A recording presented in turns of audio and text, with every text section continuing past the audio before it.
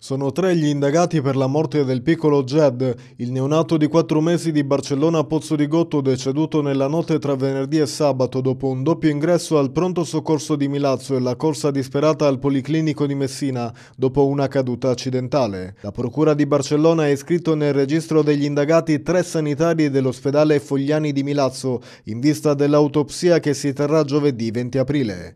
Il piccolo è deceduto per una emorragia cerebrale al Policlinico di Messina, dove è stato operato d'urgenza dopo essere caduto nella sua abitazione a Barcellona Pozzo di Gotto. Il bimbo, dopo la caduta, era stato portato in un primo tempo all'ospedale di Milazzo, ma subito era stato dimesso dopo una consulenza pediatrica in reparto ed è stato rimandato a casa.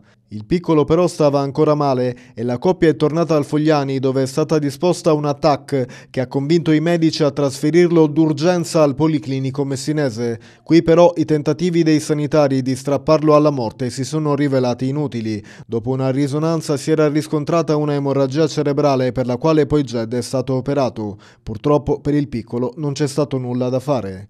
I legali della famiglia Giorgio Leotti e Giulio Lima hanno presentato un esposto per capire se ci siano state negligenze nella gestione dei soccorsi e dell'assistenza. I due legali hanno nominato anche il dottore Antonio Messina come medico legale di parte.